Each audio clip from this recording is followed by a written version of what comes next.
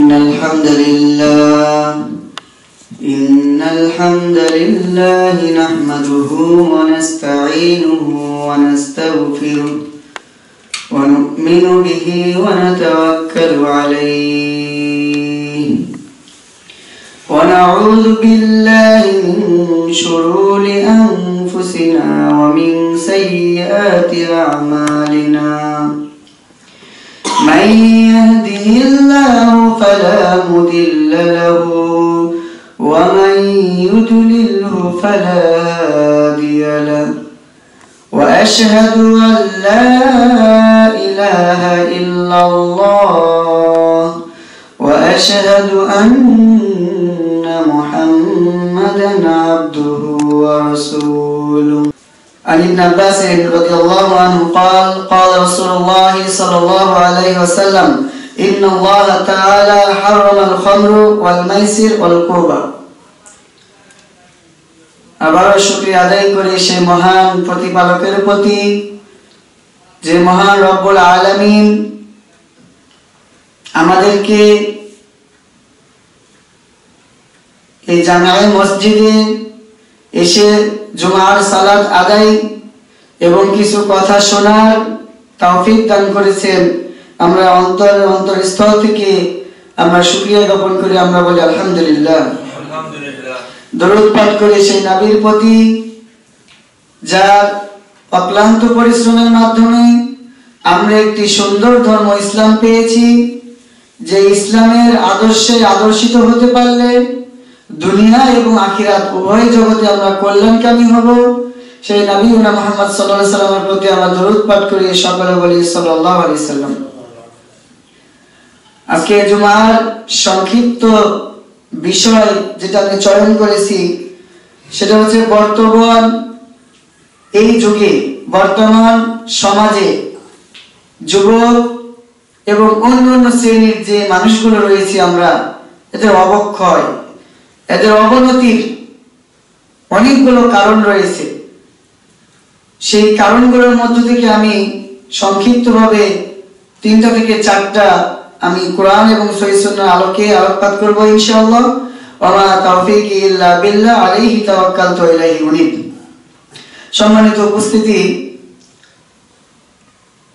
জুমার খুতবার হেডলাইন ছিল যুব সমাজ এবং অন্যান্য শ্রেণির যে সমস্ত শ্রেণীগুলো আমাদের সমাজের বিদ্যমান, চলাফেরা করি, তাদের অবনতির কারণ সমাজে রাষ্ট্রীয়ভাবে, পরিবারে শিক্ষাক্রমে সমস্ত জায়গাতে যে সমস্ত অবক্ষয় যুবকদেরকে আমরা সর্ব অবস্থায় লাঞ্ছনা অবস্থায় দেখি, তার কয়েকটি কারণ রয়েছে, অনেকগুলো কারণ রয়েছে। তার মধ্যে একটি কারণ হচ্ছে গান বাজনা। দুই নম্বর কারণ হচ্ছে অবৈধ সম্পর্ক। তিন নম্বর কারণ হচ্ছে নেশাদার দ্রব্য পান করা। চতুর্থ নাম্বার, চেষ্টা করব লজ্জা। লজ্জাশীলতা, আল হায়া। ইনশাআল্লাহ রব্বুল আলামিন আমার এই জবান দিয়ে কোরআন এবং সহিসুন্নাহ আলোকে যেন কথা বলার তৌফিক দান করেন, আল্লাহুম্মা আমিন। প্রথম কারণ যেটি ছিল গান বাজনা। এটি এমন একটি পাপ যা বর্তমান সমাজে যদি দেখি, যুবকদের চাইতে বেশি সময় আমরা ব্যয় করছি মধ্যবয়সী মানুষগুলো। হাতে বাজারে পরিবারে যেখানেই যাই না কেন তারা বাদ্য যন্ত্র নিয়ে ব্যস্ত আল্লাহ আলমিন সূরা লুকমানের 6 নম্বর আয়াতে বলছেন وَمِنَ النَّاسِ مَن يَشْتَرِي لَهْوَ الْحَدِيثِ لِيُضِلَّ عَن سَبِيلِ اللَّهِ بِغَيْرِ عِلْمٍ وَيَتَّخِذَهَا هُزُوًا أُولَئِكَ لَهُمْ عَذَابٌ مُهِينٌ দেখেন আল্লাহ রাব্বুল আলামিন সূরা লুকমানের 6 নম্বর আয়াত মনে রাখবেন সূরা লুকমানের 6 নম্বর আয়াত আল্লাহ রাব্বুল আলামিন বলছেন, এক প্রকার মানুষ রয়েছে, এক শ্রেণির মানুষ রয়েছে, তারা তাদের সাধ্য অনুপাতে, তারা তাদের প্রচেষ্টা অনুপাতে মানুষদেরকে গুমরাহি পথে নিয়ে যায়। আবার বলছি, এক শ্রেণির মানুষ রয়েছে, যারা তাদের সাধ্য অনুপাতে, যারা তাদের নিজ প্রবৃত্তিতে অনুসরণ করে, তাদের সাধ্য অনুযায়ী কিছু মানুষদেরকে পথভ্রষ্ট করছে। বলছেন তাদেরকে এমন পথে নিয়ে যাচ্ছে, পথভ্রষ্ট পথে থেকে এমন ভ্রান্ত করার জন্য অন্ধভাবে এমন ভাবে নিয়ে যাবে যে অন্ধভাবে গান, বাজনা ও বাদ্যযন্ত্র, গান, বাজনা ও বাদ্যযন্ত্রের দিকে মানুষদেরকে তারা নিয়ে যাবে, শুধু নিয়েই যাবে না। এবং ঠাট্টা বিদ্রুপ করবে। সম্মানিত উপস্থিতি, আল্লাহ আলামিন এই আয়াতে বলছেন যে এক শ্রেণির মানুষ বের হয়ে আসবে, এক শ্রেণির এক প্রকার মানুষ বের হয়ে আসবে এমন এক জামানায়। কালামুল্লাহ রাব্বুল আলামিন বলছেন যে তারা তাদের নিজেদের সাধ্য অনুপাতে তাদেরকে গান বাজনার দিকে ঠেলে দিবে, ভ্রান্ত পথে ঠেলে দিবে। ঠেলে দিবে বলতে বুঝতে পারি আমরা, তাদেরকে সহযোগিতা করবে। বাদ্যযন্ত্রের মাধ্যমে তাদেরকে আনন্দ উল্লাসের তাদেরকে শয়তানি কাজের দিকে অগ্রসর করবে। এই সমস্ত ব্যক্তিদের বিষয়ে বলছেন, এবং শুধু অগ্রসরই করবে না, আল্লাহ এবং আল্লাহ রাসূলকে ঠাট্টা বিদ্রুপ করবে তাদের বাদ্যযন্ত্রের মাধ্যমে। উলাইকা লাহুম আযাবুম মুহিন। আল্লাহ এই শ্রেণির লোকদেরকে বলছেন, সতর্ক হও। উলাইকা লাহুম, ওই সমস্ত লোক আজাব মুহিন যন্ত্রণাদায়ক শাস্তি। শুধু শাস্তি না, পৃথিবীতে আমরা বাংলা ভাষায় দুইটা জিনিস বুঝি তোমাকে আমরা শাস্তি দিব। তোমাকে পুলিশ, র্যাব, প্রশাসন অথবা আমি বাবা হিসেবে তোমাকে আমি শাস্তি দিব। সাধারণ কথা, আম কথা। শাস্তি বলতে তাকে মারতেও পারে, শাস্তি বলতে তাকে ধমক দিতে পারে। যখন এখানে আল্লাহ সিফাত ব্যবহার করেছেন আজাব মুহিন যন্ত্রণাদায়ক শাস্তি। যে শাস্তিটা এত কঠোর হবে, যে শাস্তিটা এত তাপমাত্রা বেড়ে যাবে, যে মানুষের অনুকরণ, মানুষের ধারণ ক্ষমতা এটার বাইরে চলে যাবে। সম্মানিত উপস্থিতি, বর্তমান যুবকদের আমাদের হাতের বাইরে। বর্তমান যুবকরা, যুবক, যুবতীরা আমাদের হাতের বাইরে। মধ্যবয়সী এবং যারা বৃদ্ধ রয়েছেন, এদের সেক্টর ভিন্ন। আল্লাহ রাব্বুল আলামিন যে আয়াতটা বললেন যে গান, বাজনা নিষেধাজ্ঞা দ্রব্য এবং লজ্জাশীলতা এগুলো কাদের মাধ্যমে হচ্ছে? যুবকদের মাধ্যমে হচ্ছে। আজকে যুবকরা গত কয়েকদিন আগেই চোদ্দই ফেব্রুয়ারি চলে গেছে। আপনার সন্তান, আমার সন্তান, আপনার বোন, আমার বোন, আপনার ওয়াইফ আমাদের অধীনস্থ। আমরা ইহুদি, খ্রিস্টান কালচারের পশ্চিমা কালচারের তাদের সৃষ্টি তাদের সৃষ্টি করা চরিত্রের দিকে আমরা এগিয়ে যাচ্ছি। একটাবার ভাবলাম না যে আমি আমায় পি- পিতা হিসাবে, আমার মেয়ে কীভাবে এই নোংরা কাজ করতে পারে? অথচ সেদিনকে আমার মেয়ে, আমার সন্তান, আমার কাছ থেকে অর্থ নিয়ে, আমার উপার্জন করার টাকা নিয়ে তারা বেনাপোনা কাজে লিপ্ত হয়েছিল। আপনি বাবা হিসেবে কি চিন্তা করেছিলেন? যে আমার অর্থটা, আমার রক্ত, আমার বংশীয় আমার বোন কীভাবে চলাফেরা করছে? একটু চিন্তা করা দরকার। আল্লাহ রাব্বুল আলামিন অন্য আয়াতে বলছেন, ইয়া আইয়ুহাল্লাযীনা আমানু কু আনফুসাকুম। দেখেন, এখানে যারা ঈমান এনেছে, ইয়া আইয়ুহাল্লাযীনা আমানু। যারা ঈমান আনে নাই, যারা আল্লাহ রাব্বুল আলামিনকে বিশ্বাস করে নাই, তাদেরকে বলে নাই। আল্লাহ রাব্বুল আলামিন বলছেন, ইয়া আইয়ুহাল্লাযীনা আমানু। হে মানুষ যারা ইমান আনয়ন করেছ, যারা আল্লাহ রাব্বুল আলামিনকে বিশ্বাস করেছ, যারা আল্লাহর দাসত্বকে মেনে নিয়েছো, তাদের জন্য খবর। তুমি তোমার নিজের নাফসকে বাঁচাও। তুমি তোমার নিজের অন্তরকে বাঁচাও। তুমি তোমার নিজের সত্তাকে বাঁচাও। তুমি তোমার নিজের দেহটাকে বাঁচাও। কিসে থেকে? ও আহলিকুম নার। আগুন থেকে। প্রথমে আল্লাহ রাব্বুল আদেশ করছেন যে, হে ইমানদারগণ যারা আমাকে বিশ্বাস করেছ, যারা আমার প্রতি ঈমান আনয়ন করেছ, তাদেরকে আমি বলছি, তোমরা তোমাদের নিজেদেরকে জাহান্নামের আগুন থেকে বাঁচাও। যখন তুমি বুঝতে পারবে যে আব্দুল্লাহ, আমি জাহান্নামের আগুন থেকে বাঁচার জন্য চেষ্টা করছি। আব্দুল্লাহ উমর, আমি জাহান্নামের আগুন থেকে বাঁচার জন্য চেষ্টা করেছি। আমি বলতে পারছি যে মুমিনের কাতারে আমার হয়তো পদচারণা হচ্ছে। তখন কি করবে? ও নার। তুমি তোমার পরিবারকে জাহান্নামের আগুন থেকে বাঁচাও। কীভাবে? মুখে বলে, দাওয়াত দিয়ে, কঠোরতা অবলম্বন করে, যত প্রকার কৌশল আছে, সমস্ত প্রকার কৌশল অবলম্বন করে, প্রহার করে হলেও তাদেরকে জাহান্নামের আগুন থেকে বাঁচাও। এটা হচ্ছে আলামিনের আদেশ। সম্মানিত উপস্থিতি, আমার চারটা বিষয় বলেছি আমি বর্তমান যুব সমাজে এবং অন্যান্য শ্রেণির যে সমস্ত লোকগুলো রয়েছে আমরা তাদের অবনতির অবক্ষয়ের কারণ অনেকগুলো আছে অনেকগুলো আছে। তার মধ্যে যে চারটা বিষয় আমাদের মধ্যে দেখা যায়, গান বাজনা নিষেধার দ্রব্য, অবৈধ সম্পর্ক এবং নির্লজ্জতা।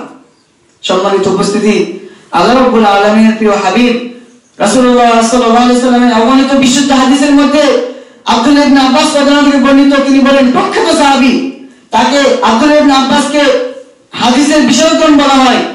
তিনি বর্ণনা করছেন, দেখেন, একটু চিন্তা করে দেখেন, কথাগুলো আল্লাহ রাব্বুল আলামিনের প্রিয় হাবিব কীভাবে বলেছেন? আলী ইবনে আব্বাস রাদিয়াল্লাহু আনহু আন রাসূলুল্লাহ সাল্লাল্লাহু আলাইহি সাল্লাম আব্দুল্লাহ ইবনে আব্বাস বর্ণিত তিনি বলেন রাসূলুল্লাহ সাল্লাল্লাহু আলাইহি সাল্লাম থেকে বর্ণনা করছেন তিনি। রাসূলুল্লাহ সাল্লাল্লাহু আলাইহি থেকে সরাসরি বর্ণনা করে বলছেন যে তিনি বলেছেন, ইন্নাল্লাহ আমরা সকলেই জানি, আজকে সমস্ত শ্রেণি আলেমদের চাইতে বড় আলেম হয়ে গেছে। যারা আলেম, তারা প্রতি সপ্তাহে সেমিনারে, ওয়াজে তারা বক্তব্য দেয়। যারা শ্রোতা রয়েছেন যে বিষয়ে আলেম সমাজ, যে বিষয়ে দাঁড়িয়া খুদ্া প্রদান করেন, তাদের চাইতে বেশি ধারণা যারা শ্রোতা। শুধু অভাব, সামি হয় না ও আতয় না। তারা শুনে, কিন্তু আনুগত্য করে না। দেখেন আল্লাহ এখানে ইন্না শব্দ ব্যবহার করেছেন। যারা মাদ্রাসার স্টুডেন্ট তারা জানবেন ইন্না হচ্ছে নিশ্চয় আবশ্যকীয় গুরুত্ব দেওয়া এই বিষয়গুলো বোঝানো হয়। আল্লাহ রাব্বুল আলামিন বলছেন যে, ইন্নাল্লাহ নিশ্চয় আল্লাহ রাব্বুল আলামিন হারামাল খামর। তিনি মদকে হারাম করেছেন। ওয়াল মাইসির ওয়াল কুবা জুয়া, আল্লাহ রাব্বুল আলামিন মদ, জুয়া এবং বাদ্যযন্ত্র। মদ, জুয়া এবং বাদ্যযন্ত্র। বাদ্যযন্ত্র যত প্রকার আছে যত প্রকার ইলেকট্রনিক জিনিস আছে, যত প্রকার হারমোনি আছে, যেটা দিয়ে সুর তোলা যায়, যেটা দিয়ে মজা লাগে অবব্যাখ্যা করবে না। তবলা এটা জায়েজ, যেটা শুধু এক পাশে পর্দা থাকে। তবলা এটা দাবাত বলা হয়। যেমন আমাদের সমাজে যখন আমরা ছোট ছিলাম, কুরবানির সময় গরুর চামড়া দিয়ে অথবা ভুঁড়ির একটা অংশ দিয়ে শুকিয়ে দইয়ের পালিতে আমাদের বাবারা আমাদেরকে বেঁধে দিত। সেখানে বাড়ি দিলে ধাপ ধাপ শব্দ হতো। এটাকে বলা হয় তবলা। রাসুলের যুগেও শিশুরা এটা দিয়ে খেলা করত। এটা জায়েজ। তবে বাদ্যযন্ত্র যেটা যেটা দিয়ে সুর তোলা যায়, যেটা দিয়ে বিভিন্ন প্রকার সুর তোলা যায়, এটাকে বলা হয় বাদ্যযন্ত্র। হতে পারে মোবাইল, হতে পারে কম্পিউটার, হতে পারে হারমোনি, যত প্রকার বাদ্যযন্ত্র রয়েছেন আল্লাহ আলামিনের প্রিয় হাবিব বললেন, এটা আল্লাহ আলামিন স্বয়ং হারাম করেছেন। সম্মানিত উপস্থিতি, অতি অল্প সময় খুতবার বিষয়গুলো অতি অল্প সময়ে আমরা দায়ীরা চেষ্টা করি আপনাদের মাঝে ফুটিয়ে তোলা এই যে বাদ্যযন্ত্র বিষয়, আজকে এমন একটি ব্যাধি হয়েছে যে কাটা যায় না। আমার আপনার শরীরে যদি পছন্দ ধরে, আমি আপনি বাঁচার জন্য ডাক্তারের পরামর্শে হাত অথবা পা কেটে ফেলি। এই বাদ্যযন্ত্র এমন একটা ব্যাধি এমন ভাবে আমাদের ক্লককে এমন ভাবে আমাদের মেধাকে এমন ভাবে আমাদের দৃষ্টিকে কবজা করেছে যা বের হতে পারছি না। আমি আপনি বাবা, আমার ঘরে টিভি চলে। আমি আপনি চাচা, আমার ভাতিজার ঘরে টিভি চলে। আমি আপনি ভাই, আমার বোন টিভি দেখে। অথচ আমি আপনি ইসলাম প্রচার করতে পারছি না। একবারের যেন বলতে পারছি না যে, বাবা, তুই আমার ছেলে। তুই আমার ঘরে থাকিস, তুই আমার অর্থ দিয়ে পড়াশোনা করেছিস, আমার রক্তে মাংসে তুই বড় হয়েছিস, তুই আমার ঘরে থেকে কীভাবে তুমি বিজাতীয় কালচার তুমি তৈরি করো? সম্মানিত উপস্থিতি, আব্দুল আব্বাসের এই হাদিস থেকে বোঝা যায় যে যত প্রকার নিষেধার দ্রব্য রয়েছে, মদ বলতে বোঝানো হয়েছে শুধু তরল জাতীয় যে মদ হয়, এটা না। তাফসিরগণ বলছেন, হাদিস যারা গবেষণা করেছেন মদ একটা শব্দ। মদ একটা শুধুমাত্র শব্দ। সামনে হাদিস পাবেন, ইনশাআল্লাহ। মদ হচ্ছে যেটা আমরা, সাবকন্টিনেন্টে যেটা আমরা ভেবে থাকি, মদ মানে একটি তরল পানীয়? না। মদ শব্দের অর্থ হচ্ছে নিষাদার দ্রব্য। যেটা খেলে আমার আপনার মেধা বিকৃত হয়ে যায়। যেটা পান করলে আমি আপনি সঠিকভাবে চলতে পারি না। যেটা পান করলে আমার আপনার মাধ্যমে অন্যায় অশ্লীল বেহাপনা কাজ হওয়ার সম্ভাবনা রয়েছে সম্মানিত উপস্থিতি আরেকটি হাদিস দেখি আমরা عن انس قال قال رسول الله صلى الله عليه وسلم لا يكونن في هذه الامه فسق وقرف ومسح وذلك اذا شربوا الخمر واتخذوا البنيات واضربوا بالمعازف সম্মানিত উপস্থিতি, যখন আমি হাদিসগুলো একটার পর একটা আমি দেখছিলাম, তখন আমার শরীরের লোমগুলো খারাপ হয়ে যাচ্ছিল যে বর্তমান সমাজে প্রত্যেকটা ফ্যামিলিতে, প্রত্যেকটা নিজে নিজে যদি চিন্তা করি, একশোর মধ্যে নাইনটি ফাইভ পার্সেন্টই অথবা নিরানব্বই জন মানুষই জেনে অথবা না জেনে, বুঝে অথবা না বুঝে ইচ্ছাকৃত ভাবে অথবা অনিচ্ছাকৃত ভাবে আমরা নিষেধাজ্ঞা দ্রব্য পান করছি। একটু খেয়াল করেন, আল্লাহ রাসূল আলাইহি সাল্লাম বলছেন যে এই ধরনের কাজ যারা করবে নিষাদার দ্রব্য পান করবে এবং যারা বাদ্যযন্ত্র নিয়ে মগ্ন থাকবে, নায়ক, নায়িকাদেরকে দিয়ে যারা বেচা বিক্রি করবে এবং এই সমস্ত বিষয়গুলোকে নিয়ে যারা একে অপরকে সহযোগিতা করবে, এটার প্রভাব যখন বেশি পড়ে যাবে আমাদের সমাজে তখন কয়েকটি বিপদ নেমে আসবে। কয়েকটি গজব নেমে আসবে আল্লাহ রাব্বুল পক্ষ থেকে। এই হাদিস থেকে এটাই বোঝা যাচ্ছে যে আমি আপনি পাপ করছি। আগে যেমন সিস্টেম ছিল, যখন তারা পাপ করত, তাদের পাপের শাস্তিগুলো আল্লাহ রাব্বুল আলামিন তাৎক্ষণিকভাবে দিয়ে দিতেন। প্রতি দয়া করে, রহমত করে তাদের পাপের কারণে তাৎক্ষণিকভাবে শাস্তি দেয় না।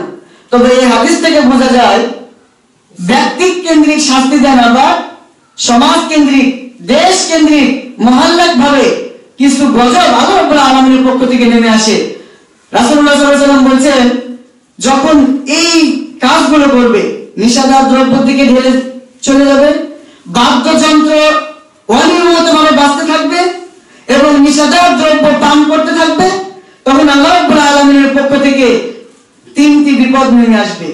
ঘন ঘন ভূমিকম্প হবে, যা আমরা দেখতে পাচ্ছি। আমাদের দেশে, আমাদের দেশের বাইরে, যেখানে তাকাই না কেন, ভূমিকম্প বেড়ে গেছে। হাদিস জ্বলন্ত। হাদিস আমাদের সামনেই। দ্বিতীয় নাম্বার, জুলুম নেমে আসবে। আজকে দেখেন, আমরা মুসলিম, আমরা মুসলিমের সন্তান। তারপরেও কালিমা পড়ার সত্ত্বেও নামাজ আদায় করার সত্ত্বেও, সিয়াম আদায় করার সত্ত্বেও জাকাত প্রদান করার সত্ত্বেও, আজকে আমাদের প্রতি ইহুদি, খ্রিস্টান, হিন্দুরা পর্যন্ত আমাদের প্রতি নেমে আসছে, জুলুম নিয়ে। কারণ আমাদের চরিত্র নষ্ট হয়ে গেছে। আমাদের যুব সমাজ, একটু খেয়াল করুন, যে সমস্ত যুবকরা রয়েছেন, আমি আপনাদেরকে দৃষ্টি আকর্ষণ করছি, আপনারা এমন বংশের মানুষ আপনাদের পূর্বপুরুষরা, আপনাদের পূর্ব পিতারা তাদের গর্জন শুনে ইহুদি খ্রিস্টান তারা পালাতে বাধ্য হয়েছে। আপনি সালাউদ্দিন আইয়ুবের সন্তান আপনি উমর উমর রাদিয়াল্লাহুর সন্তান, সালাউদ্দিন আইয়ুবী এমন একটা নেতা ছিলেন, একটু লক্ষ্য করেন যুবকরা। বক্তব্য শোনার উদ্দেশ্যে যদি এখানে আসেন, কোনো ফায়দা হবে না। এতটুকু ভাবেন যে আমার অস্তিত্ব কোথায়? আমার শরীরে রক্ত কিসের করেছে আমার পূর্বপুরুষরা কেমন ছিল? আমি কেমন আছি? এই জিনিসটা যদি আপনার মাথায় নিয়ে আসেন, অবশ্যই, ওয়াল্লাহি, আল্লাহর কসম করে বলছি, আপনার শরীরে রক্ত অবশ্যই গরম হবে এবং আপনার মাধ্যমে তখন এই অন্যায়, অশ্লীল বেহাপনা কাজে লিপ্ত হবেন না। এবং আপনি সহযোগিতাও করবেন না। সারাউদ্দিন আরবি তার পুরো গোটা জীবনটাই কুদুস বিজয় করতে তার ব্যয় করেছে। তার গোটা জীবনটাই কুরুষের সাথে যুদ্ধ করতে তার জীবন গেছে। হারাকু খান যখন আমাদের মুসলিম সমাজকে রক্তে করে দিল, আমাদের মুসলিমদের মা বোনদের ইজ্জত লঞ্চন করল, মুসলিম নেতাদের মাথা কেটে পাহাড় বানালো, তখন কিন্তু এই হালাকু খানের বিরুদ্ধে যুদ্ধ ঘোষণা করেছিল আপনাদের, আমার এবং আপনার পূর্বপুরুষরাই। আমরা মুসলিম নবীন আমাদের মাথা থাকবে সর্ব উঁচু আজকে আমরা মার কাছে কেন যে না আজকে আমাদের চরিত্র ভাবে এমন ভাবে বিকৃত করেছি যে আমরা মাজা সোজা করে দাঁড়াতে পারি না। অথচ আমরা নামাজ আদায় করছি, অথচ আমরা সন্তান উৎপাদন করছি, অথচ পিতা হিসাবে তার দায়িত্ব সে পালন করে না। সম্মানিত উপস্থিতি, একটা জিনিস খেয়াল করবেন, শুধু বিবাহ করলেই স্ত্রী পেলেই দায়িত্ব হয়ে গেছে এমনটা না।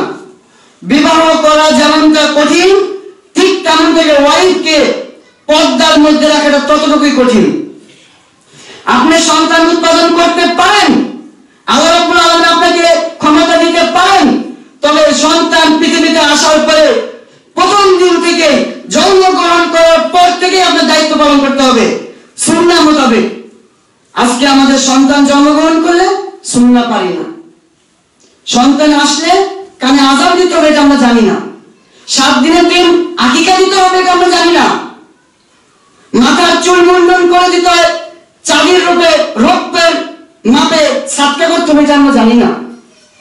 আর অথচ আমরা দাবি করছি, সবাই দোয়া করবেন, আমার ছেলে সন্তান হয়েছে, আমি বাবা। ধিক্কার জানাই ওই সমস্ত বাবাদেরকে, যারা তাদের সন্তান, যারা তাদের মেয়ে এবং অধীনস্থদেরকে ইসলামের পথে আনতে পারেন। সম্মানিত উপস্থিতি।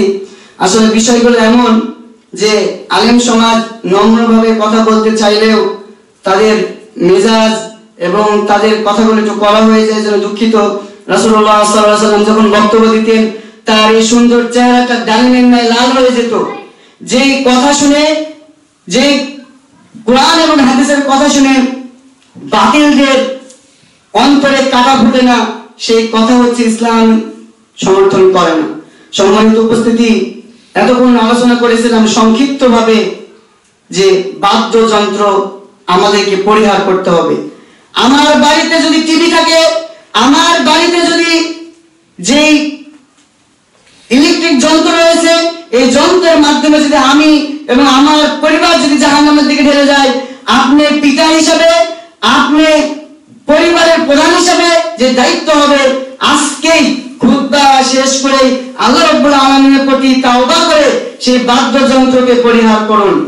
নচেত আপনার জন্য, নচেত আপনার জন্য জাহান্নাম প্রস্তুত হয়ে আছে। যুব সমাজ, আরেকটি হাদিস বলে আমি, গান বাজনা বিষয়টি আমি শেষ করব।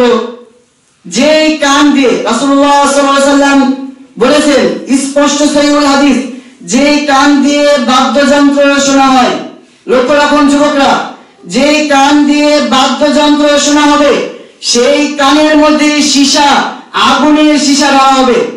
সম্মানিত উপস্থিতি, যুবক ভাইরা এবং পদ্মার যত মা বোনরা রয়েছেন, যারা অল্প বয়সী রয়েছেন এবং যারা ইন্ডিয়ান সিরিয়াল দেখছেন টিভি দেখছেন, তাদেরকে সতর্ক করছি যে কান দিয়ে যে কান দিয়ে বাদ্যযন্ত্র শোনা যাবে যে কান দিয়ে বাদ্যযন্ত্র ঢুকবে, সেই কান দিয়ে জাহান নামে কিয়ামতের দিন তাদের শাস্তি হবে, আগুনের সীসা দেওয়া তাদের কানে ঢেলে দেওয়া হবে।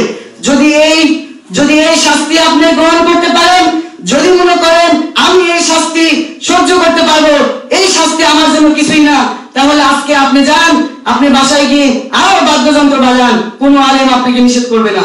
তবে সাবধান, এমন কোন মানুষ নাই, এমন কোন প্রাণী নাই যে আল্লাহ আলামিনের শাস্তি সহ্য করতে পারবে।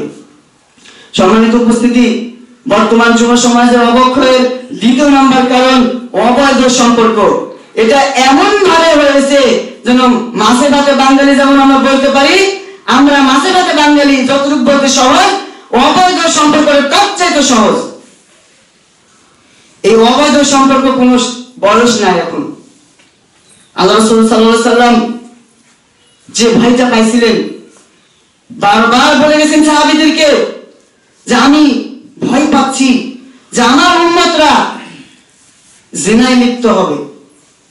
দেখেন সাল্লাম উপরে সূরা বানী ইসরাইলের 32 নম্বর আয়াত, অবশ্যই যে বক্তব্য শুনবেন, দলিল এবং প্রমাণ সহকারে শুনবেন, কোরআন এবং হাদিসের কথা হচ্ছে কিনা সেটা দেখবেন। শুধু কোন বুজুর্গ ইকরাম কোন আলী আউলিয়া কোন আলেমের কথা উক্তি দিয়ে খুতবা চলে না। এই রাসূলুল্লাহ সাল্লাল্লাহু আলাইহি ওয়াসাল্লামের উত্তরসূরি। এই জায়গায় আলাইহি ওয়াসাল্লামের যে বক্তব্যগুলো শুনছেন অবশ্যই অবশ্যই পুঙ্খানুপুঙ্খানু ভাবে যদি আপনারা আদায় না করেন অবশ্যই আপনাদেরকে জিজ্ঞাসিত করা হবে কি আমাদের দিন। আপনাদেরকে বলা হবে, আপনাদের সামনে, আপনাদের কাছে, তোমাদের কাছে আমি আমার রাহাবা পাঠিয়েছিলাম। তোমরা কেন মানলে না? আজকে দ্বিতীয় নম্বর পয়েন্ট যেটা, অবৈধ সম্পর্ক অর্থাৎ জিনা।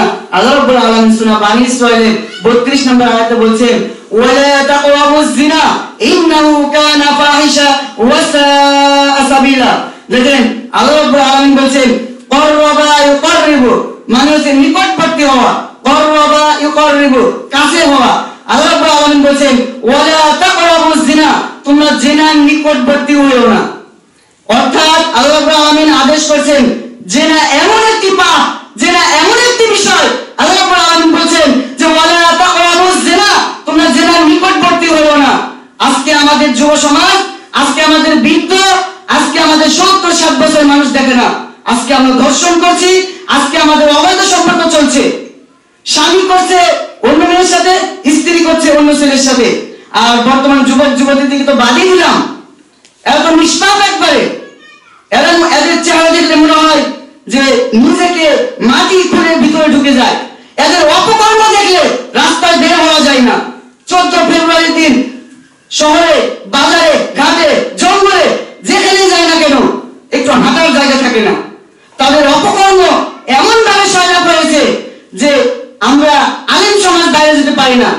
আর ওই বাবাকে আমরা ধিক্কার জানাই, যেই বাবা তার পকেট থেকে টাকা নিয়ে স্কুলে যাওয়ার নাম করে প্রাইভেটে যাওয়ার নাম করে আপনার মেয়ে আপনার ছেলে অবৈধ সম্পর্কে জড়িত হচ্ছে অথচ আপনি বাবা হিসাবে কিছু করতে পারেন না। আজকে ওই বাবাকে, ওই সত্যকে বলছি, আপনাকে মাটি ঘুরে ভিতরে ঢুকে চলে যাওয়া উচিত। যে আমি আমার সন্তানকে জন্ম দিয়েছি, অথচ আমি কন্ট্রোল করতে পারছি না, তারা জেলায় লিপ্ত হয়েছে সম্মানিত উপস্থিতি, আল্লাহ রাব্বুল বললেন, ওয়ালা তাকরাবুজ জিনা তোমরা জিনার নিকটবর্তী হও না। ইন্নাহু কানা ফাহিশা। কেননা এটা এমন একটি ফাহিশা কাজ এমন একটি মন্দ কাজ এমন একটি নেককার কাজ। ওয়াসা এই পথটাই মন্দ।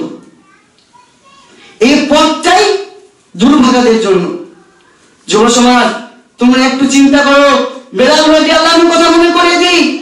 বেলাল রাদিয়াল্লাহু আনহু এমন একটি মানুষ ছিলেন, হাফসি গোলাম ছিলেন, কালো ছিলেন দাঁত এবং চোখ ছাড়া কিছু দেখা যেত না। এত কালো ছিলেন, অথচ আল্লাহ রাব্বুল আলামিনের কাছে এত প্রিয় এত প্রিয় হয়েছিলেন রাসূলুল্লাহ সাল্লাল্লাহু আলাইহি ওয়াসাল্লাম যখন মেরাজে গিয়েছিলেন তখন দেখলেন জান্নাতে হাঁটছেন। শব্দ হচ্ছে। জিজ্ঞেস কে? তার কথা বলা হয়েছিল। সম্মানিত উপস্থিতি, এই বেলাল সন্তান আমরা। বেলাল ইলাহা ইল্লাল্লাহ ওয়া আন্না মুহাম্মাদার রাসূলুল্লাহ। এই সাক্ষী দেওয়ার কারণে, এই সাক্ষী দেওয়ার কারণে মক্কার কাফের, মক্কার কুরাইশ সর্ব স্তরের মানুষরা তাকে বলল বেলাল হাবশি গোলাম এই কালো মানুষ, তোমাকে বলছি, তুমি যদি মোহাম্মদের দিনকে পরিবর্তন না করো, তোমার প্রতি কিন্তু গজব নাজিল হবে।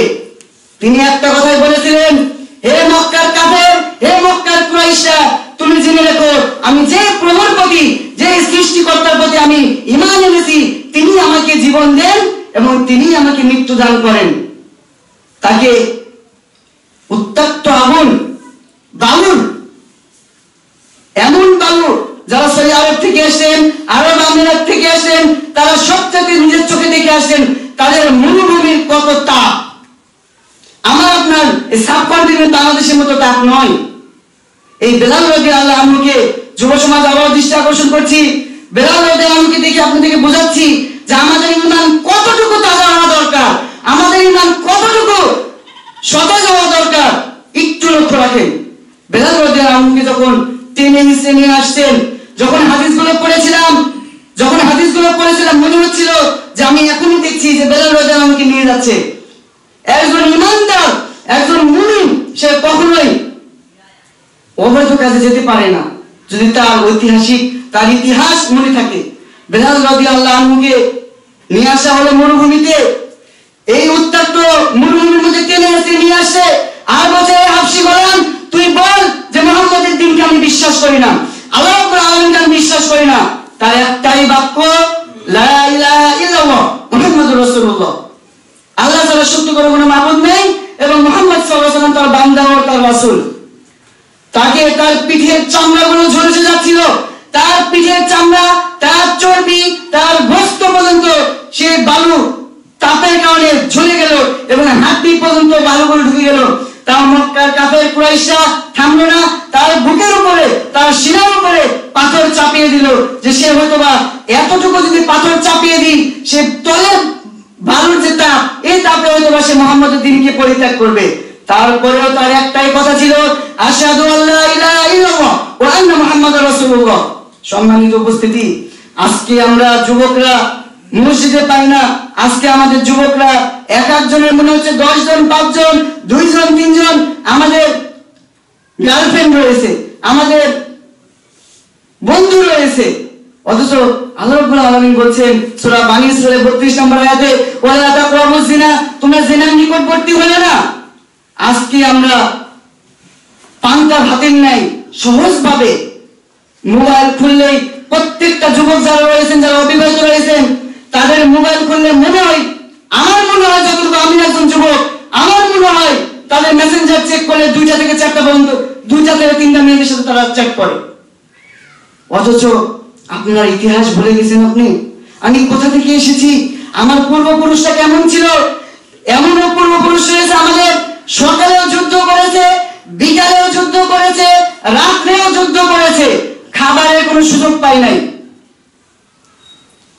সম্মানিত উপস্থিতি অবৈধ সম্পর্ক এমন ভাবে সয়লাভ হয়েছে প্রত্যেকটা সেক্টরে প্রত্যেকটা সেক্টরে আমাদের সমস্যা। মেয়ে, ছেলে, মধ্যবয়সী, বৃদ্ধ, এটা সবচাইতে আমাকে দুঃখ দেয় যে সমস্ত বৃদ্ধরা রয়েছেন, তাদের দৃষ্টি আকর্ষণ করছি যে তারা চায়ের স্টলে, বাজারে, সমস্ত জায়গাতে তাদের দৃষ্টিকে এমন ভাবে লালসায় দেয় যেন মনে হচ্ছে সে তেরো বছরের যুবক। অথচ বয়স হয়ে গেছে সত্তর, বয়স হয়ে গেছে ষাট। অথচ একটা নারী গেলে, অথচ একটি নারী গেলে যেন মনে হচ্ছে তার দিকে না তাকালে মনে খায়েশ মেটে না নাউজবিল্লা এবং এজন্য আমি সুন্দর ভাষায়, রাসুলের ভাষায় বলে যাচ্ছি, যারা বৃদ্ধ রয়েছেন, একটু সতর্ক হন। আল্লাহ রাসূল আলাইহি সাল্লাম আপনাদের ব্যাপারে বলে গেছেন, প্রখ্যাত সাহাবী আবু হুরাই রাদিয়াল্লাহু আনহু থেকে বর্ণিত, তিনি বলেন ক্বালা ক্বালা অনেক কঠিন হাদিস। একটু লক্ষ্য রাখেন, এই হাদিসটা যখন বলব, যদি আপনারা মনির হয়ে থাকেন, যদি আপনারা জাহান্নামকে ভয় করে থাকেন, আমার মনে হয় আপনাদের জন্য এই হাদিসটা যথেষ্ট। আল্লাহ রাব্বুল আলামিন হাবিব রাসূলুল্লাহ সাল্লাল্লাহু আলাইহি সাল্লাম বলছেন যে, সালাসাতু তিন শ্রেণির ব্যক্তিদের সাথে আল্লাহ রাব্বুল আলামিন কথা বলবেন না। কি বললেন? সালাসাতু লা ইউকাল্লিমুহুল্লাহু ইয়াওমাল কিয়ামা। কিয়ামতের দিন যেই কঠিন দিনে যে সূর্য কাছে চলে আসবে, মানুষের মগজগুলো ভাতের ন্যায় যেভাবে আমাদের মা বোনেরা ভাত রান্না করে, ভাতে টকবক টকবক করে, আমাদের মগজগুলো এইভাবে টকবক টকবক করতে থাকবে, যার যেমন পাপ থাকবে, তার পাপ অনুযায়ী তার ঘামের মধ্যে সে হাবুডুবু খাবে। এই দিনে আল্লাহ আলামিনের যদি রহমত না পান, আপনার চাইতে দুর্ভাগা কেউ নাই, আপনার চাইতে দুর্ভাগা বান্দা কেউ নাই। রাসূলুল্লাহ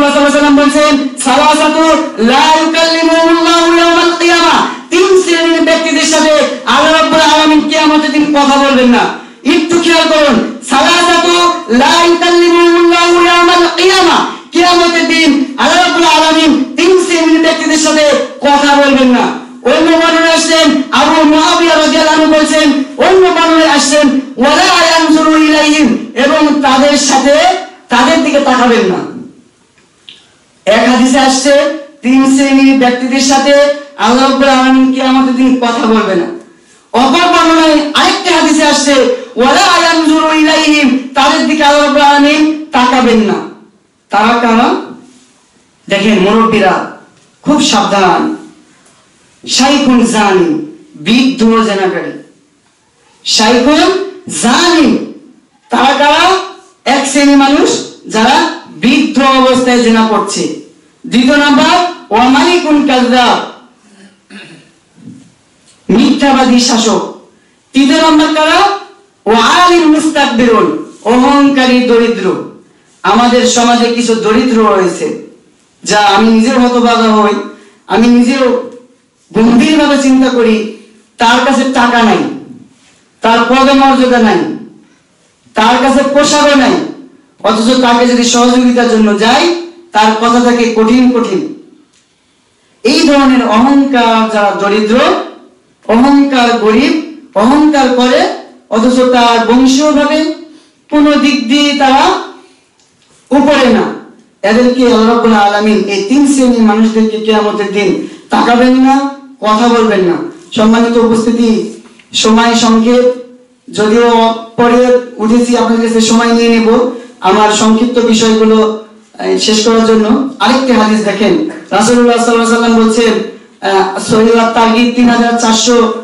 নম্বর হাদিস।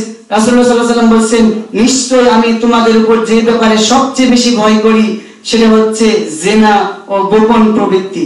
সেটা হচ্ছে জেনা ও গোপন প্রবৃত্তি। আজকে আমরা যুব সমাজ, আজকে আমাদের চুলের কাটিং, আজকে আমাদের পোশাক, আজকে আমাদের খাবার, আজকে আমাদের পড়াশোনা, আজকে আমাদের সমস্ত কিছু যেন বিজাতীয় কালচার হয়ে গেছে। স্পষ্ট ভাবে যুবকরা শুনে নাও। মান তাসাব্বাহা বিকওমিন ফাহুয়া মিনহু। যে ব্যক্তি, যে জাতি যে জাতি অনুসরণ করবে স্পষ্ট ভাবে শুনো। যে জাতি, যে ব্যক্তি, যে জাতি অনুসরণ করবে, তার সাথে তার হাসান নাসর হবে। আজকে আমরা আইডল ভাবছি পশ্চিমা কালচার যারা সমকামিতা করে। তাদেরকে আমরা আইডল ভাবছি। চুলের কাটিংটা হয়তোবা আমাদের মিডিয়া সমাজের ব্যক্তিদের, নায়কদের, অথবা খেলোয়াড়, অথবা ইহুদি, খ্রিস্টান, অথবা বৌদ্ধ। তুমি একটাবার চিন্তা করছ না যে আমার পোশাক, আমি যে পোশাকটা পরছি, সেটা কার অনুসরণ হচ্ছে? অথচ সাল্লাল্লাহু সাল্লামকে আমাদের জন্য মডেল হিসেবে পাঠিয়েছে, উত্তম চরিত্রের অধিকারী হিসেবে তাকে পাঠিয়েছে। তাদের পোশাককে ভালো লাগে না? তাদের স্টাইলকে ভালো লাগে না? যুবকরা একটু সাবধান হও। তোমাদের মাধ্যমে ইসলাম প্রচার হয়েছিল। তোমাদের মাধ্যমে ইসলাম সম্মানিত হয়েছিল। আজকে তোমাদের মাধ্যমে ইসলাম লুণ্ঠিত হচ্ছে। আজকে তোমাদের মাধ্যমে, আজকে আমরা মার খাচ্ছি। সম্মানিত উপস্থিতি, আল্লাহ রাসূল সাল্লাল্লাহু আলাইহি সাল্লাম বললেন, সহিহ তারবিকে হাদিসে এসেছে 3419 নম্বর হাদিস, ইন্না আফাকুমা আল্লাহ রাসূল সাল্লাল্লাহু আলাইহি সাল্লাম বলছেন সবচেয়ে বেশি যেটা ভয় পাচ্ছি, আমি আমার উম্মতের মধ্যে, তারা কারা? তারা জিনা করবে। আজকে প্রত্যেকে বৃদ্ধ, মধ্যবয়সী এবং যে সমস্ত পর্দার আড়ালে মা বোন রয়েছে, যে সমস্ত অল্প বয়সী মেয়েরা রয়েছে, তোমাদেরকে আমি আল্লাহ আলামিনের পক্ষ থেকে আলাইহি ওয়াসাল্লামের পক্ষ থেকে আমি তোমাদেরকে দাওয়াত দিচ্ছি, তোমাদের যদি অবৈধ সম্পর্ক থেকে থাকে, যদি অবৈধ সম্পর্ক থেকে থাকে, অবিলম্বে অতি তাড়াতাড়ি পিতামাতার সাথে কথা বলে তাদের সাথে পরিচয় করিয়ে দে হয় বিবাহে আবদ্ধ হও আমি তো আল্লাহর ওয়াস্তে জাহান নামকে ভয় পেয়ে জাহান নামের আগুনকে ভয় পেয়ে তুমি সেখান থেকে ফিরে আসো।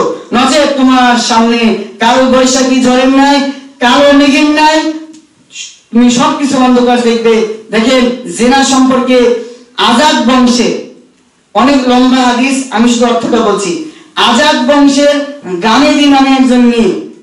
আজাদ বংশের গামেদিন একজন রাসূলুল্লাহ সাল্লাল্লাহু কাছে এসে বলছেন, এ আল্লাহ রাসূল, আপনি আমাকে পবিত্র করুন। আল্লাহ রাসূল মুখ ঘুরিয়ে নিলেন। আবার বললেন, এ আল্লাহ রাসূল, আপনি আমাকে পবিত্র করুন। আবার তিনি মুখ ঘুরিয়ে নিলেন। আবার বললেন, এ আল্লাহ রাসূল, আপনি আমাকে পবিত্র করুন। তখন তিনি বললেন, তুমি কি করেছ? তিনি বললেন, আমি জেনা করেছি। আমাকে পবিত্র করেন। আমরা সকলে জানি, বিবাহিত পুরুষ, বিবাহিত নারী।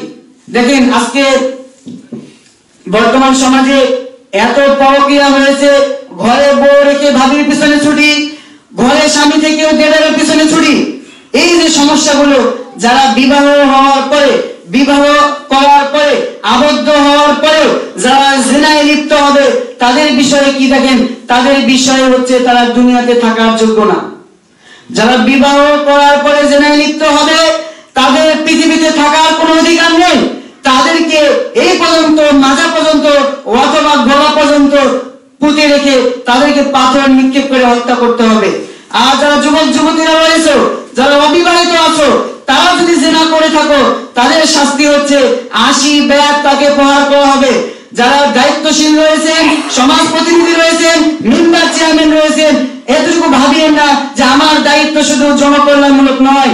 আপনার দায়িত্ব হচ্ছে আপনার ইউনিয়নে, আপনার সভাপতি মসজিদে, আপনার সমাজে যদি গান বাজনা বাজে, আপনাকে অবিলম্বে এটা বন্ধ করতে হবে। নচেত কুল্লুকুম রাইন ওয়া কুল্লুকুম মাসউলুন। আর রায়াতি, এই হাদিসের এই হাদিস অনুযায়ী আপনাকে প্রশ্ন করা হবে আল্লাহ রাব্বুল দরবারে। দেখেন, সে মহিলা যখন বলল, আল্লাহ রাসূল আমি জেনা করে ফেলেছি, আমাকে পবিত্র করুন অর্থাৎ আমাকে ইসলামের অধিকার দিন। তখন তাকে করা করা হলো, অর্থাৎ পরাজন পরিকল্পনা চলছিল। তখন বলল, আল্লাহ রাসূল, মনে হয় আমার পেটে সন্তান রয়েছে। আল্লাহ রাসূল ওয়াসাল্লাম বলেন তুমি ফিরে যাও, যখন সন্তান ভূমিষ্ঠ হবে, তখন তুমি এসো, আমি সংক্ষেপে বলছি। এই মহিলা বাচ্চা প্রসব হওয়ার পরে আবার রাসূল ওয়াসাল্লাম ছুটে আসলেন। দেখেন, সেই মহিলা ইচ্ছা করলে গোপন রাখতে পারত। সেই মহিলা ইচ্ছা করলে এই তার অপরাধ গোপন করতে পারত। অথচ তিনি আল্লাহ আলামিনের ভয়ে দিবসে সেই শাস্তির ভয়ে রাসূলুল্লাহ সাল্লাল্লাহু আলাইহি বলে দিলেন। তখন সেই সন্তানকে নিয়ে যখন আসলো? রাসূলুল্লাহ সাল্লাল্লাহু আলাইহি বললেন তুমি কীভাবে এত নিষ্ঠুর হতে পারো? এই সন্তানকে দুধ পান করাবে কে? তুমি চলে যাও, এই সন্তানকে দুধ পান করাও এবং সে যখন নিজে থেকে খেতে পারবে, সে যখন নিজে খাবার আহরণ করতে পারবে, তখন তুমি আসবে। কিছুদিন পরে যখন বাচ্চা রুটি খাওয়া শিখলো, তখন বাচ্চাকে রুটি হাতে নিয়ে রাসূলুল্লাহ সাল্লাল্লাহু আলাইহি কাছে আসলেন। এ আল্লাহ রাসূল, আপনি আমাকে পবিত্র করুন। এই যে আমার সন্তান খেতে পাচ্ছে, রাসূলুল্লাহ সাল্লাল্লাহু আলাইহি নির্দেশ দিলেন, তাকে নিয়ে যাও মরুভূমিতে নিয়ে যাও, তাকে গড় পর্যন্ত পুঁতে রাখো এবং তোমরা সকলে পাথর মারো। এই পাথর মারতে গিয়ে এক প্রখ্যাত সাহাবী শরীরে এসে তার রক্ত ছিটকে এসে বলল, সে বলল, সি সি সি, লা হাওলা ওয়ালা কুওয়াতা ইল্লা বিল্লাহ। এই মহিলা রক্ত আমার শরীরে লাগল। রাসূলুল্লাহ সাল্লাল্লাহু আলাইহি ওয়াসাল্লাম বললেন ও সাহাবী, তুমি শুনে রাখো, ও সাহাবী, তুমি শুনে রাখো। তুমি যদি জানতে এই মহিলার তাওবা কতটুকু হয়েছে? তুমি যদি জানতে এই মহিলার তাওবা, এই মহিলার ইস্তেগফার আল্লাহ আলামিনের কাছে কতটুকু গ্রহণযোগ্যতা হয়েছে তাই তুমি কোশ্চিন কালেও বলতে না। সম্মানিত উপস্থিতি, যারা এখনও বিবাহিত হওয়ার পরেও অবৈধ সম্পর্কে জড়িত আছি, পরকীয়ায় জড়িত আছি, যাদের হাজবেন্ড যাদের হাজবেন্ড প্রবাস জীবন কাটাচ্ছে ওই সমস্ত স্ত্রীদেরকে বলছি, এবং যারা প্রবাসী কাটাচ্ছেন তারা ওখানে কি করেন আপনি জানেন? কি করেন আপনি জানেন? আপনার চরিত্র কীভাবে আপনি ঠিক রাখবেন?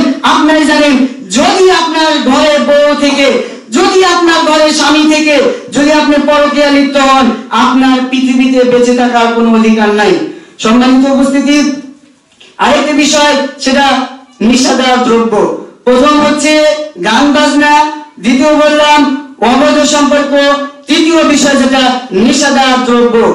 এটা এমন একটি বিষয় মানে এক একটা বিষয় এমন ভাবে প্রকট ধারণ করেছেন আমাদের মাঝে যে কোনোটা ছাড়ার বিষয় নাই। দ্রব্য, এই সম্পর্কে বলছেন 100 219 নম্বর আয়াতে বলছেন খামরি ওয়াল হে নবী, আপনাকে যদি জিজ্ঞাসা করে, হে নবী আপনাকে জিজ্ঞাসা করে যে ইসমুন যে দ্রব্য ও সম্পর্কে যদি দ্রব্য ও সম্পর্কে যদি আপনাকে জিজ্ঞাসা করে, আপনি কি বলবেন? আপনি বলবেন, ইসমুন এটা যে বিশাল পাপ মহান পাপ, এটা সবচেয়ে বড় পাপ।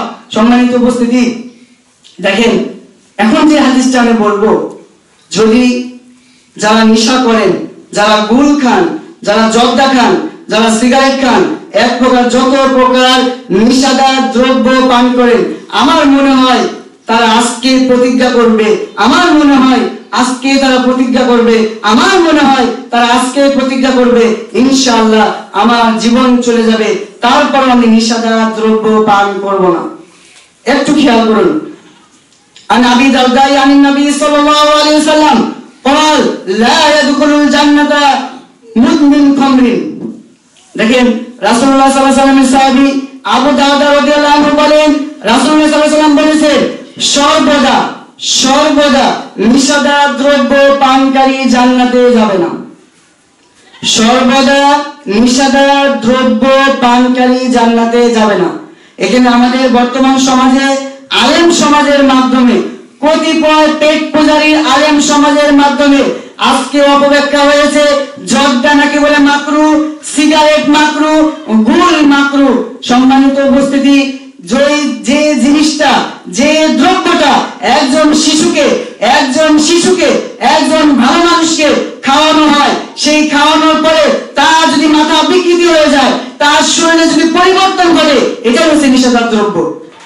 এখন বলবেন আপনি যে আমাদের কোরআনে তো, হাদিসে তো মদের কথা বলা হয়েছে একটু জিনিস চিন্তা করুন, ইয়াবা কবে চালু হয়েছে ফেন্সিডিল কবে চালু হয়েছে, গুল কবে চালু হয়েছে জর্দা তামাক কবে চালু হয়েছে। রাসূলুল্লাহ সাল্লাল্লাহু আলাইহি যুগে কি ছিল? মদ ছিল, জুয়া ছিল, তারি ছিল। তারি বলতে খেজুরের রসে, খেজুর খেজুর এবং আঙ্গুরের রস দিয়ে যেটা করা হতো। আজকে বর্তমান সমাজ দুনিয়া আপডেট হয়েছে। যে বস্তু, কিছু সিরাপ রয়েছে, এই সিরাপের মাধ্যমে নিশা করা যায়। এইগুলো যদি আল্লাহ রাব্বুল আলামিন কোরআনে একটা একটা করে বর্ণনা করতেন, তাহলে কোরআন বলতে এরকম। এই জন্য বলা হয়েছে, যত ধরনের নিষেধার দ্রব্য আছে, সমস্ত নিষেধার দ্রব্য পানকারী জান্নাতে যাবে না। এটা একটা হাদিস। এটা আম হাদিস। জান্নাতে সে যেতে পারবে না। দেখেন আল্লাহ রাব্বুল আলামিন তার প্রিয় হাবিবের মধ্যে জানিয়ে দিচ্ছেন, যারা নিষেধার দ্রব্য পান করেন, আম্মার ইবনে ইয়াসার কল আমার বক্তব্য শুনে তোমরা মজা পাচ্ছেন না। হুজুর বক্তব্য দিছে, সুর নাই টান দেয় না, শুধু কোরআন হাদিস বলছে। হতেই পারে। ওয়াল জামাত এবং সালফে সালেহিনের আকীদা হচ্ছে, তারা কথা বলবে, প্রয়োজনীয় কথা বলবে। তারা কথা বলবে, হক কথা বলবে। তারা কথা বলবে কোরআন এবং সুন্নাহ থেকে। না সুর আছে না কিচ্ছা কাহিনী আছে। সম্মানিত উপস্থিতি, আমি আমার বক্তব্য শেষ করব ইনশাল্লাহ একটু দৃষ্টি আকর্ষণ করেন যারা নিষাদার দ্রব্য পান করেন। একটু খেয়াল রাখেন, এখানে ঘুমাতে আসেন নাই। সম্মানিত উপস্থিতি, এই সারা সপ্তাহে সপ্তাহে সাত দিনের মাথায় একদিন আসেন। এখানে যদি ঘুমান, তাহলে আপনাদের ইমান কতটুকু? আপনাদের ইমান কতটুকু? আজকে যদি যুদ্ধ লেগে যায়, আপনার স্ত্রী করে ঢুকে যাবেন, আপনার হিংসার মতো চুরি করবে মনে হচ্ছে। আজকে জুমার ফুটপাতে এসে আপনারা ঘুমাচ্ছেন। আপনার নিজেকে একটু বিবেকে বলেন, আমি কেমন মুসলিম? সম্মানিত উপস্থিতি আম্মার ইবনে ইয়াসার কল কল রাসূলুল্লাহ সাল্লাল্লাহু আলাইহি তিনি বলেন সালাসাতুল ইয়াদখুলুনা জান্নাতা আবাদান, তিন শ্রেণির ব্যক্তি, তিন শ্রেণির ব্যক্তি কখনো জান্নাতে আবাদান, কখনো আবাদান, কখনো তিন শ্রেণির ব্যক্তি কখনো জান্নাতে প্রবেশ করবে না। তাদের মধ্যে হচ্ছে আর দায়ুস দায়ুস, দায়ুসটা হচ্ছে যারা পরিবারের কর্ণধর, তাদের স্ত্রী বেপর্দা হয়ে ঘুরে। পরিবারের কর্ণধর, তাদের তাদের মেয়ে বেপর্দা হয়ে ঘুরে। এদেরকে বলা হয়েছে দায়ুস। আবার দেখেন, এই হাদিসটা খুবই জরুরি। সালাসাতু লা ইয়াদখুলুল জান্নাহ। তিন শ্রেণির ব্যক্তি জান্নাতে যেতে পারবে না। আবাদান কখনো না। এই শব্দটা আবার উল্লেখ করেছেন, আবাদান কখনো না। এক নম্বর কারা? আর দায়ুস যারা দায়ুস, যারা তাদের স্ত্রী এবং সন্তানদেরকে পর্দা করাতে পারেনি এবং বেহাপুরার ব্যবস্থা করিয়ে দেয়। আমি আমার সন্তানকে জিন্স প্যান্ট কিনে দিয়েছি। আমি আমার মেয়েকে জিন্স প্যান্ট কিনে দিয়েছি। আমি আমার মেয়েকে একদিন বললাম না, হাত মোজা পরো। আমি আমার ওয়াইফকে বললাম না, তুমি খিমার পরো। আমি আমার ওয়াইফকে বললাম না, তুমি সালোয়ার কামিজ পরে বাইরে যেও না। এই ধরনের স্বামী এবং এই ধরনের পিতা এবং ভাই যারা আছেন, এরা দায়ুস এরা জান্নাতে যেতে পারবে না। আরেকটা কারা ওয়াল রিসলাতু মিনান নিসা, মহিলা এবং মা বোনেরা যারা আছেন, তাদের দৃষ্টি আকর্ষণ করছি। ওয়াল রিসলাতু মিনান নিসা, ওই সমস্ত নারী যারা পুরুষের বেশ দান করে। ওই সমস্ত নারী যারা পুরুষের বেশ ধারণ করে। তিন নম্বর কারা? অমৃত মিনুল খমর, যারা সর্ব অবস্থায় নিষেধা দ্রব্য পান করে। যারা সব সময় নিষেধা দ্রব্য পান করে। আজকে পানি। এ মামা, একটু জলটা বেশি দাও। এ ভাই, একটু জলটা বেশি দাও। কাকা আপনি জলটা খাচ্ছেন কেন? আমার হুজুর বলেছে এটা মাকলু আপনার কবরে কি হুজুর যাবে? আপনার কবরে কি কোনো অলিয়া অলিয়া যাবে? আপনার কবরে আপনিই যাবেন। আজকে আপনি পান খাচ্ছেন, আবার মসজিদেও আসেন পাঁচ ওয়াক্ত নামাজে। মসজিদে আসেন কুলি করে আসেন? গুল গুল এক পাশে দিয়ে মসজিদে আসেন। মসজিদে পাঁচ ওয়াক্ত নামাজ আজান- দিচ্ছেন, গুল খাচ্ছেন। ইমাম সাহেব মসজিদ থেকে বের হয়ে জর্দা দাও মামা একটু জর্দা দাও। ও কেমন হুজুর? দেখেন মাকরু বলতে ইসলামে কোনো শব্দ নাই। মাকরু শব্দের অর্থ অপছন্দনীয়। আচ্ছা মেনে নিলাম। মাকরু বলা যাবে। জর্দা খাওয়া মাকরু আমি মেনে নিলাম। তাহলে ইসলামে কি কোনো আল্লাহ রাসূল আলাইহি সাল্লামের জীবদ্দশায় কি কোনো অপছন্দনীয় জিনিস রেখে গেছে? আল্লাহ রাসূল কি কোনো অপছন্দনীয় জিনিস ইসলামে রেখে গেছে? কথা বলেন কথা বলা যায়? রেখে গেছে? রেখে যায় না তাহলে আপনি কেন অপছন্দনীয় জিনিস নিচ্ছেন? এই জর্দাটা আপনার সন্তানকে খাওয়ান তো। আপনার কলেজের টুকরা আট বছর বয়সী বাচ্চাকে খাওয়ান তো? আমার বিশ্বাস, অল্লাহি, সে খাওয়ার সঙ্গে সঙ্গে তার মাথা বিকৃত হয়ে যাবে, সে অজ্ঞান হয়ে পড়ে যাবে। সিগারেট সিগারেট খাওয়া মাত্র দলীয় কথায়? বড় হুজুর বলেছে, অমুক পিসার বলেছে, অমুক খানকার হুজুর বলেছে, অমুক মাদ্রাসার হুজুর বলেছে, জর্দা যদি মাকরু হয়, জর্দা দিয়ে তো সিগারেট তৈরি হয়, তামা দিয়ে। নাউজুবিল্লাহ সম্মানিত উপস্থিতি, আল্লাহ রাসূল সাল্লাল্লাহু সাল্লাম বললেন নিষাদা দ্রব্য পানকারী কখনোই জানাতে যাবে না। যারা পান খান, যারা পান খান, আমি আপনাদের দায়ী হিসাবে এজালি আলেম হিসাবে, আমি যে দাওয়াত দিচ্ছি হাদিস সৈয়দ তারগিব তিন হাজার তিনশো একাশি নম্বর হাদিস। যারা ইউটিউব চালাও, যারা গুগল চালাও, এবং যারা এগুলো নেটের সাথে সংযুক্ত আছেন, সহি আর তারগিব, নামটা মনে রাখেন, সহি আর তারগিব, হাদিস নাম্বার তিন হাজার তিনশো একাশি নম্বর হাদিস। এই হাদিসে বলেছেন নিষাদা দ্রব্য পানকারী কখনোই জান্নাতে যাবে না। হতে পারে পেন্সিলিন হতে পারে ইয়াবা, হতে পারে মদ, হতে পারে গুল, হতে পারে তামা, হতে পারে জর্দা, হতে পারে আরও যত ধরনের নতুন নতুন যত নিশায় এসেছে। এখন যারা পান খাচ্ছেন, মুরব্বীরা যারা আছেন, আমি উদাত্ত আহ্বান জানাচ্ছি জান্নাতে যেতে হলে এই নিষাদা দ্রব্য পরিহার করেন। যে হুজুর বলেছে জর্দা খাওয়া মাকরু সেই হুজুরকে আবার প্রশ্ন করেন, আপনি মাকরু শব্দটা কোথায় পেলেন আপনি এই মাকরু ফতোয়াটা কেন দিচ্ছেন? আপনি এই মাকরু ফতোয়া দিচ্ছেন আজকে আমাকে দলিল দেন আজকে আমাকে হাদিস দেখান। আমি আরবি পাই না, আমি বাংলা পড়তে পারি। আমি এমবিবিএস পাস আমি ডাক্তার আমি ইঞ্জিনিয়ার আমি আরবি বুঝি না। তবে বাংলা বুঝি। আপনি ইসলামী ফাউন্ডেশনের বাংলাদেশ কর্তৃক যে বুখারি রয়েছে ইসলামী ফাউন্ডেশনের যেটা কোনো দল না যেটা কোনো মত না যেটা কোনো আলে হাদিস না যেটা কোনো জামাত না যেটা কোনো অন্য কোনো দল নাই ইসলামী ফাউন্ডেশনের যেটা সহিহুল বুখারী যেটা সমস্ত দলের মানুষরা যেটা ফলো করে, সেখান থেকে আপনি দেখান যে মাত্র লেখা আছে। আল্লাহ কসম করে বলে গেলাম, এই সিদ্দিক রাদিয়াল্লাহু জামে মসজিদে এসে আমি বলে গেলাম, যদি আপনারা একটা হাদিস দেখাতে পারেন, যদি আপনারা একটা হাদিস দেখাতে পারেন, আমি আপনাদের সামনে আমি ভুল প্রমাণ হয়ে আমি আপনাদের সামনে স্যালেন্ডার হব এবং আমি কালকে থেকে জব্দ খাওয়া শুরু করব। যদি আপনারা প্রমাণ করতে পারেন হুজুরের মাধ্যমে যদি প্রমাণ করতে পারেন জর্দা খাওয়া মাত্র এই মর্মে একটা হাদিস দেখান। যদি প্রমাণ করতে পারেন তাহলে আমি আব্দুল হাসিব এই সিদ্দিক রাদিয়াল্লাহু মসজিদে এসে বলে গেলাম আমি কালকে থেকে জর্দা খাব আপনাদের সাথে। ভাগাভাগি করে খাব। নাউজুবিল্লাহ মিন জালিক সম্মানিত উপস্থিতি সময় ফুরিয়ে আসছে। আরেকটি হাদিস যেটা জি। জি ইনশাল্লাহ শেষ করে দেবেন ইনশাল্লাহ সম্মানিত উপস্থিতি ধৈর্য ধারণ করেন। সঠিক কথা তিত হয়, আল হাক মররুল সঠিক কথা তিক্ত হয়, সঠিক কথা শুনলে শরীরে কাটা ফুটে। সঠিক কথা শুনলে অন্তর কেঁপে ওঠে। কারণ আমার মধ্যে তাই ব্যাধি রয়েছে। আমার মধ্যে তাই ব্যাধি রয়েছে। আমি আমার ওয়াইফকে পদ্মা করতে পারি না। আমি আমার বোনকে পদ্মা করতে পারি না। তাহলে এই ধরনের কথা কেন আমি শুনব? অবশ্যই একটু সময় দিয়ে শুনবেন। একজন আলেম কখনোই হালকা মাঝে আসে না। তাদের সময়কে মূল্যায়ন করার জন্য এখানে আসে। একজন আলিম হতে হলে, একজন ডাক্তার হতে হলে যতটুকু কষ্ট হয়, একজন আলেম, এটা মনে করেন হাত পাতা আলেম, ওই সমাজ শেষ হয়ে গেছে। আজকে বর্তমান সমাজের আলেমরা যে কষ্ট করছে, শুধুমাত্র আপনাদের জন্য, শুধুমাত্র আপনাকে জান্নাতে নিয়ে যাওয়ার জন্য, একটু খেয়াল করবেন। দেখেন, বর্তমান সমাজে কুফুরি, বর্তমান সমাজে তাবিজ, বর্তমান সমাজে জাদুবিদ্যা কালো বিদ্যা এমন ভাবে প্রকট ভাবে, এমন ভাবে বেড়েছে যা আমি, আপনি, আমি নিজের ভাই হয়ে আরেক ভাইকে আমরা কুফুরি করছি। নিজের বোন হয়ে আরেক বোনকে কুফুরি করছি। মা ছেলেকে ছাড়ে না, শাশুড়ি ছেলেকে ছাড়ে না, নানি তার সন্তানকে ছাড়ে না। এমন ভাবে আমরা জাদুবিদ্যা লিপ্ত রয়েছি।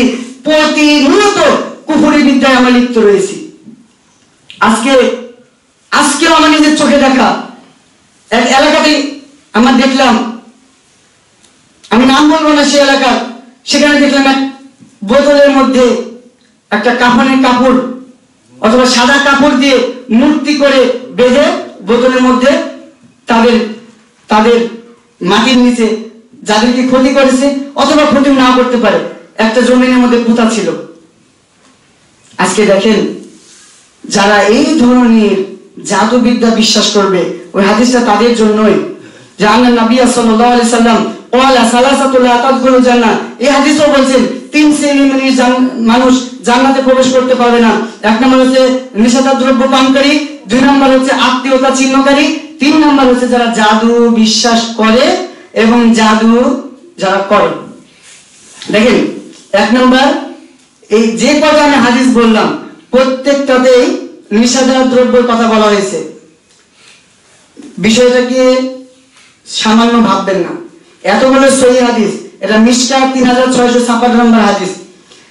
প্রথম কথা নিষেধার দ্রব্য পানকারী জান্নাতে যাবে না, আত্মীয়তার সম্পর্ক ছিন্নকারী, এটাও খুব মারাত্মক। বিবাহ করা হয়েছে, ওয়াইফের কথা শুনে মা বাবার সাথে সম্পর্ক শেষ। এমন যুবক অনেক। এবং ওই শাস্তিদেরকে দুর্ভাগা, ওই শ্বশুরকে আমরা ধিক্কার জানাই তুমি তুমি কেমন মেয়ে লালিত পালিত করলে, তুমি তোমার নিজের মেয়েকে নিয়ে জ্বলেছো তুমি অন্য ঘরে গিয়ে অন্য সন্তানকে কেড়ে নিয়েছো। ধিক্কার জানাই, তারা শুধু সন্তানই জন্ম দিয়েছে, আসল পিতা হতে পারেনি। তৃতীয় নম্বর জাদুকে বিশ্বাস করে এবং জাদু করে। জাদুকে বিশ্বাস করে এবং যারা জাদু করে। সম্মানিত উপস্থিতি, আমার খুদবার বিষয় ছিল বর্তমান যুব সমাজে অবক্ষয়ের কারণ। অনেকগুলো কারণের মধ্যে চেষ্টা করেছিলাম বলার জন্য। সময়ের স্বল্পতা এবং বিদ্যুতের সমস্যা হওয়ার কারণে, দেরিতে খুদ্া দেওয়ার কারণে আমি আমার জায়গা থেকে, আমি ক্ষুদ্র মানুষ, আমি সামান্য মানুষ, ছোট মানুষ আমি, অল্প জ্ঞানের অধিকারী আমি, সামান্যতম কোরআন এবং হাদিস অর্জন করতে পেরেছি আল্লাহ রাব্বুল আলমিনের অশেষ মেয়ের বাণীতে সেখান থেকে নিজে মানার চেষ্টা করি এবং অপরকে মানার আহ্বান দেওয়ার চেষ্টা করি। তো এই যে কথাগুলো বললাম, প্রথম কথা ছিল গান বাজনা, বাদ্যযন্ত্র। এটা পরিত্যাগ করুন। যে সমস্ত যুবক ভাইরা আছেন, যাদের ঘরে বক্স বাজে, যাদের বাড়িতে মোবাইল গান বাজনা আছে, ওই সমস্ত গার্ডিয়ানদেরকে দৃষ্টি আকর্ষণ করছি, আপনি কেমন মা? আপনি কেমন বাবা? আপনি কেমন ভাই? যে আমার ঘরে বক্স বাজে, আমার ঘরে মোবাইলে, আমার ঘরে টিভিতে হিন্দি সিরিয়াল চলে? অল্লাহি আল্লাহর কসম করে বলছি যদি আপনি সাচ্চা ইমানদার হন, এই তিনি কিসের? আমার একজন খুব আস্থাভাজন মানুষ। সে যখন এই হাদিসটা শুনেছিল যে বাদ্যযন্ত্র হারাম, তার ঘরে একটা ছাপান্ন হাজার টাকা দামের টিভি ছিল, সে সঙ্গে সঙ্গে এটা ভেঙে ফেলেছে। সঙ্গে সঙ্গে একটা ঘণ্টা হচ্ছে লেট করেনি। যখনই শুনেছে বাদ্যযন্ত্র হারাম, এই ধরনের যত যন্ত্র রয়েছে হারাম, সঙ্গে সঙ্গে এটা ভেঙে ফেলেছে। কারণ বিক্রি করল না কেন? এটা যদি বিক্রি করে, যে ব্যক্তিটা কিনবে সে তো একই কাজে লিখতে হবে। সে বিক্রি করে মানে সে ওখানে সে গুণা পাবে এবং তার পার্সেন্টেজ সে পাবে। ভেঙে ফেলেছে এটা আমার দরকার নেই। দ্বিতীয় বিষয় ছিল অবৈধ সম্পর্ক। যুবক, যুবতীরা পর্দারা হইলে মা বোনেরা, যারা আছো, যারা যুবতীরা রয়েছে, তুমি মনে করো না আজকে আমি প্রেম করব? যুবক যারা আছে, তুমি মনে করো না আমি ভালোবাসার নাম দিয়ে আমি মেয়ের সাথে সম্পর্ক করব, তোমার জীবন সঙ্গে এটা ভুলে যাও। আল্লাহ বলছেন, একজন জন্য নারী, একজন দুশ্চরিত্রা পুরুষের জন্য দুশ্চরিত্র নারী। তুমি এটা ভেবে রেখো, যদি না করো, যে আমি প্রেম করছি, তুমি যাকে বিবাহ করবে, আমি জেনা করেছি, তুমি যেইভাবে তুমি অন্য মেয়েকে হাত দিয়েছ যেইভাবে স্পর্শ করেছ, যে চোখ দিয়ে তাকিয়েছো যেইভাবে তুমি যাকে বউ করে নিয়েছো, এটাও ভেবে নিও যে আমার ওয়াইফ এরকম হয়ে এসেছে এটা কার কথা আল্লাহ রাব্বুল আলামিনের কথা ওয়াকির দাওনা আলহামদুলিল্লাহ রাব্বিল আলামিন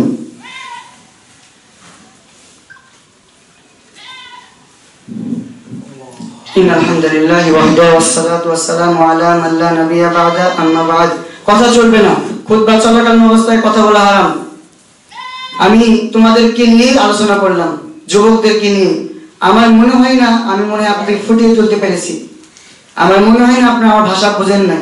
যদি বুঝতেন, অন্তত পক্ষে চব্বিশ ঘণ্টা আপনার চিন্তায় পড়ে যেতেন যে কি শুনলাম আজকে, আর আমি কি করছি।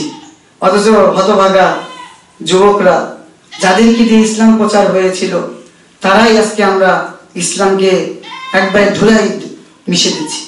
না বাবার সম্মান রাখছি, না মায়ের সম্মান রাখছি, না বোনের সম্মান রাখছি, না নিজের সম্মান রাখছি। একটু সতর্ক হও। আলেমরা তোমাদের জন্য এত কষ্ট করছে। কয় টাকা দেন আপনার আলেমদেরকে? মসজিদের বেতন থেকে কয় টাকা দেন? দশ হাজার টাকা দিতেই পকেট শেষ হয়ে যায়। দশ বার ভাবেন, দশ বার মিটিং করেন, এই ইমাম সাহেবের বেতন বাড়াতে হবে। কয় টাকা বেতন দেন? অথচ একবার ভাবেন না যে ইমাম সাহেবরা, আলিমরা যে আপনাদের জন্য এত কষ্ট করে রিসার্চ করে হাদিস ঘেটে দলিল নিয়ে প্রমাণ সহকারে আপনাদের সামনে কথা বলছে। একটু কি বিবেক হয় না? যে হুজুরের কথাটা শুনি, আমাদেরই তো করলাম। নাকি আপনাদের কাছে টাকা চাইছি? টাকা চাইছি? গাজীপুরের বুকে পাঁচতলা বাড়ি করব, টাকা দেন? দেবেন? দেবেন না তো। তো জান্নাতে নিয়ে যেতে চাচ্ছি, চলেন, একসাথে যাই। প্রতিজ্ঞা কর ইনশাল্লাহ হাত চালেন তো, কে কে আজকে পান, জর্দা, পান খান, কালো জিরা, ধনে দিয়ে। কে কে জর্দা গুল নিষেধ দ্রব্য পান করবেন, হাত চালেন আল্লাহকে আল্লাহকে সাক্ষী রেখে যুবকরা, যারা সিগারেট খাও আজকে আল্লাহকে সাক্ষী রেখে বলো এই আবু বকর সিদ্দিক রাদিয়াল্লাহু মসজিদে বসে বলছে, আল্লাহ, তোমাকে কসম করে বলছি আল্লাহি আল্লাহর কসম করে বলছি, তোমার জান্নাতে যাওয়ার জন্য, তোমার জান্নাতে শান্তি থাকার জন্য আজকে থেকে ইনশাআল্লাহ এই নিষেধাজ্ঞা বন্ধ করলাম। কে কে হাত চালেন দেখি দেখি কে কে পারবেন? আল্লাহ, যারা হাত ছেড়েছে, তুমি তাদেরকে কবুল করো। যারা হাত এখনও চাই নাই, যাদের অন্তর এখনও কলুষিত আছে, তাদেরকে তুমি হৃদয়ের দান করো। আর ربنا آتنا في الدنيا حسنة وفي الآخرة حسنة وقنا عذاب النار رب هب لي من الصالحين رب هب لي من الصالحين হে রব্বুল আলামিন আমাদের মধ্যে যারা অসুস্থ রয়েছে তুমি তাদেরকে সুস্থতা দান করো আল্লাহুম্মা আমিন আল্লাহ আমাদের মধ্যে যারা ঋণগ্রস্ত রয়েছে তুমি তাদের ঋণ পরিশোধ করে তৌফিক দান করো আল্লাহুম্মা আমিন আল্লাহ তুমি আমাদের সন্তান সন্ততি এবং আমাদের অধীনস্থদেরকে ইসলামের পথে চলার তৌফিক দান করো আল্লাহুম্মা আমিন আল্লাহ আমাদের মুসলিম জাতিরা যেখানে মার খাচ্ছে ফিলিস্তিন থেকে শুরু করে কাশ্মীর থেকে শুরু করে বাংলাদেশ থেকে শুরু করে যত মুসলিম কান্ট্রিতে আমাদের মুসলিম ভাই বোনেরা লাঞ্ছনা এবং নির্যাতিত হচ্ছে, তুমি তাদেরকে রক্ষা করো। আল্লাহ তুমি আমাদের এই জুমার খুদ্বাকে কবল করো। আমরা যেন আজকে প্রতিজ্ঞা করেছি, তোমাকে সাক্ষী রেখে আজকে থেকে আমরা জর্দা, পান, জর্দা গুল বিড়ি, সিগারেট, ইয়াবা, যত প্রকার নিষেধাজ্ঞা দ্রব্য রয়েছে, আল্লাহ তোমাকে সাক্ষী রেখে বলেছি, এখান থেকে বেঁচে থাকব ইনশাল্লাহ এবং যারা মহিলা সেক্টরে যারা আছেন, যারা প্রতিনিয়ত জাদুবিদ্যায় বিশ্বাস করছেন যারা প্রতিনিয়ত গণদের কাছে যাচ্ছেন, যারা প্রতিনিয়ত জাদুকে বিশ্বাস করছেন, অন্যের ভালো করতে হোক অন্যের ক্ষতি করার জন্য যারা এই জাদুকে বিশ্বাস করছেন, জাদু করেই যাচ্ছেন করেই যাচ্ছেন, একটু চিন্তা করেন, আপনাদের জন্য জাহান্নাম প্রস্তুত হয়ে রয়েছে। আল্লাহ রাব্বুল কাছে দোয়া করি, আল্লাহ তুমি আমাদেরকে খালেক এবং খাদি হিসেবে, মুমিন হিসেবে তুমি কবুল করো। আল্লাহুম্মা আমিন। ওয়া